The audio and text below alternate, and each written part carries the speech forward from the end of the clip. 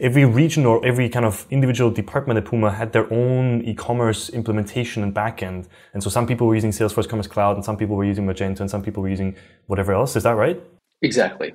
Wow. That seems like a lot of complexity. How, how many different systems were running when you joined Puma? Do you know?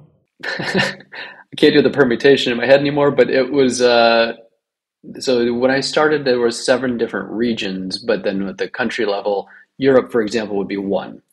So then you have 20 some countries. It kind of depends on the year, which ones are United Kingdom, which ones are Europe, and um, and then Ukraine floating. So it's uh, it's always shifting, which is one extra layer onto this mm. puzzle. So now you finally settle it. You're like, okay, well, we've we've got Europe handled, and then they're like, well, actually, we don't because now, Wales, Scotland, Northern Ireland, and England are no longer part of Europe. So just carve out that part and put that over here and tell all of the systems only in that case do you get the information from over here. Now, completely different catalog, different pricing, different employees, move their offices. So, those are the types of things that the response from the technology teams is like, yes, we can do it. When do you need this done? Like, well, how fast can you get it done? And that was always the question. So then you end up with this unplanned work. You know, Brexit, everyone knew it was coming for a long ter- time, but you still have to do it. And then there's dependency on others. And the ERP systems are always the slowest process in any organization I talk to. They're always, if we've got an ERP implementation, it's two years late, the people working on it are tired, the changes are constant but everyone else depends on that data. And so there's this layered dependency problem. And these are the types of issues that, again, if, it, if it's domestic, if it's more simplified, you can solve them in a lot of different ways or different places in the stack. But if you really are trying to centralize some core data stores and make that interface consistent across the world, you have to wait like it doesn't help you to set up a different ERP because it would be faster. Now you completely ruined the concept of ERP, and that doesn't help you in the long run either. So it's a it's a constant trading and juggling, and where GraphQL kind of can come in and solve some of that, so that you don't have to delay some of the innovative changes that you're needing that the business is requiring to stay relevant but you do actually require a different skill set from the development team that you probably have either they need to level up or you actually need some different people. And that was one of the challenges that we faced. What was Puma's kind of engineering organization or technological organization like when you joined, and how did that change over the years of you being there? It's been external development the whole time.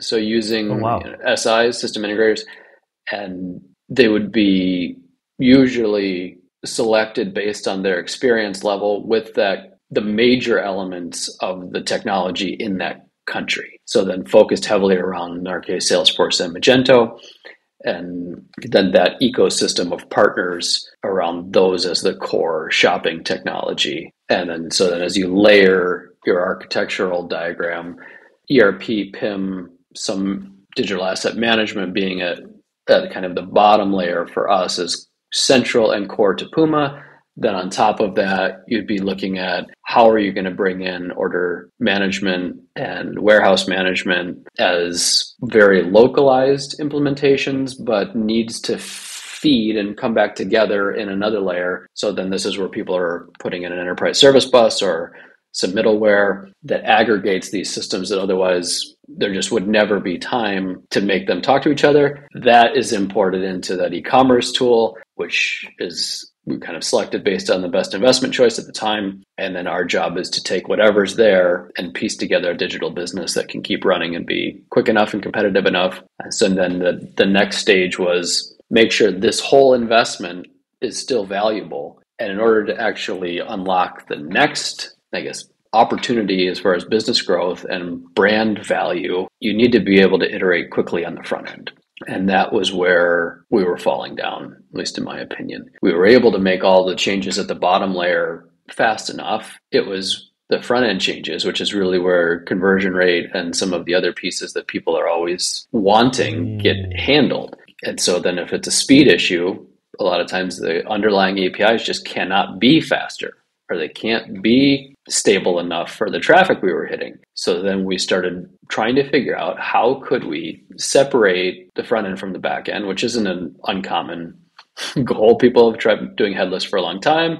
You had the, the presentation layer separated from logic. And so these concepts with the reference architecture were already used at Puma. It was basically just extending that even further. And with the concept of bringing in mobile shopping app, which we didn't have, was required. So there was just a good opportunity as all of these stars were aligning that we should try something a little bit bigger and dip our toe into GraphQL. So maybe before we dive into the GraphQL part, maybe can you give us an idea of the scale that Puma operates at? Like, I mean, I assume everybody listening knows what Puma is. It's an international brand that's very widely known, but at, at what kind of scale do you operate in terms of these systems, right? How many products are we talking about? How many orders are we talking about? Like, what's the order of magnitude of scale that Puma has? There's not many companies on the planet at that level of scale. If you think about everybody knows Puma, right? How many brands in the world exist that everybody knows, right? There's a very limited number yeah. of those. And so the scale, I'm sure, must be insane. It, it, the scale is, is definitely big. So the company does over 8 billion euro in, in turnover a year. You can read through annual reports what ecom is is producing, but the the traffic that we're talking about would be hundreds of millions, and it takes a lot to serve that kind of load, and especially when it comes unexpectedly, and hmm. that's where things get really interesting. So it becomes even though the numbers are high, handling regular traffic, just modern cloud infrastructure can handle it. It's not really a problem. What you run into is services that are charged at a, a fee either per visit or session or just API call.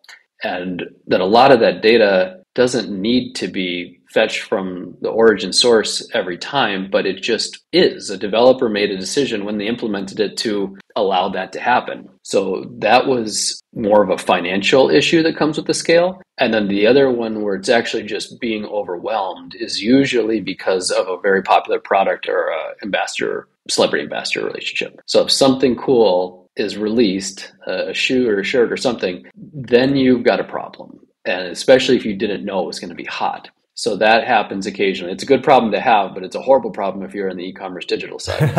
and uh, and that is usually when all of a sudden the sky is falling, everybody's outraged. You can't figure out how this happened, and those are the times that you have to dig out. But that's also some of the excitement of doing this work. And so you'll see though, it's it's when traffic spikes to, I would say, in general, ten thousand plus concurrent shoppers, like not just people on the sites, but people trying to add to cart, creating baskets.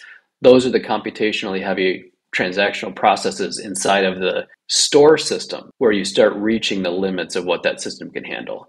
So then there's all these different strategies for trying to have a queuing of some sort or invite people in waves, but adding any of those workarounds further complicates all the processes. So you can't just jump to that. I could if it was just Dylan's hatshop.com. I uh, could try something different, but when it has to work in all these places and fraud has to be there, like all the things need to work, you just you end up just having to find ways to handle more and more traffic. And unfortunately, we found you, which helped us out of a jam. So thank you. You're welcome. I'm so glad to hear that.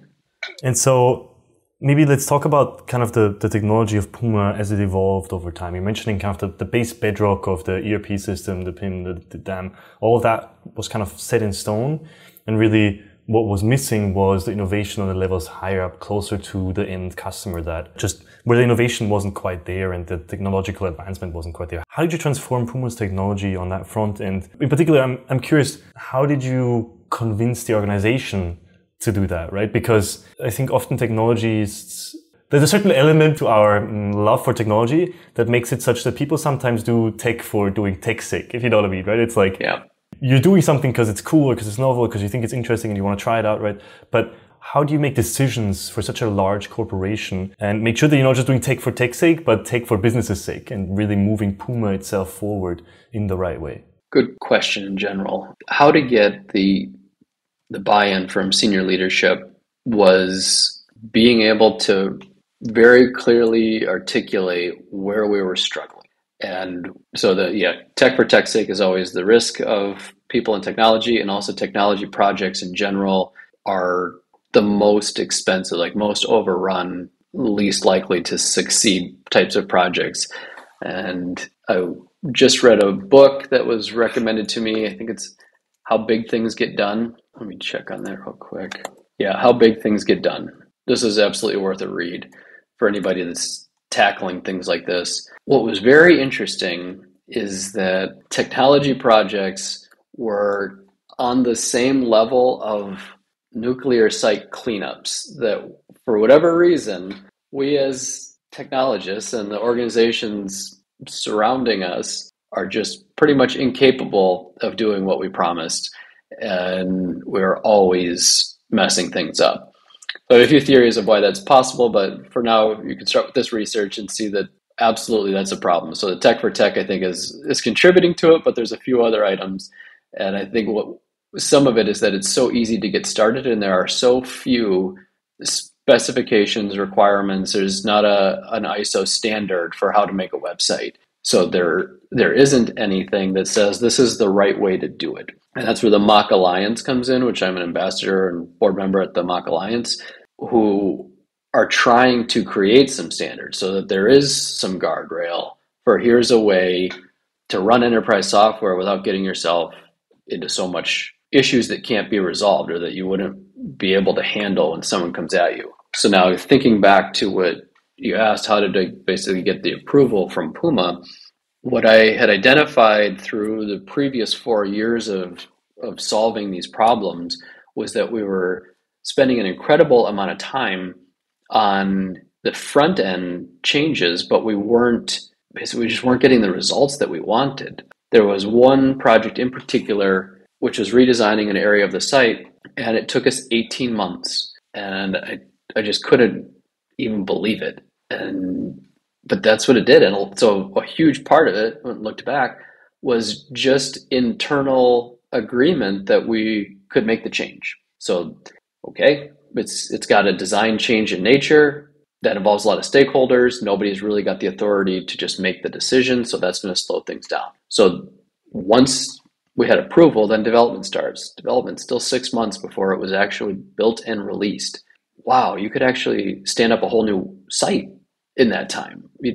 like let alone change a couple of pages. So that that was what was happening, and I would say maybe eighty percent of the work would be front end in nature, whereas that before had been eighty percent of the work was back end in nature when I was starting. Because the back end got sorted, there wasn't as much to do there. And not that anybody patted us on the back, they just stopped complaining about those issues because they were resolved. So now we were moving into hmm. almost all front end changes because they were finally able to to address those concerns, which is a good thing. So that's that's improvement, that's evolution. Okay, front end's taking a long time. Hey, you want to also have an app. The app's going to rely on the same information that the front end's using. But right now, all the changes that we're talking about you're kind of combining the logic with that front end development. So we need to separate where that data is coming from so that the app could be fed from the same source. And in addition, we were looking at speed. So then the change, that 18 months, that speed in terms of delivering UX and UI, delivering that at all. Then we looked at how fast is the website once it's running. And there was a study called Milliseconds make millions by Google and one of the consulting companies.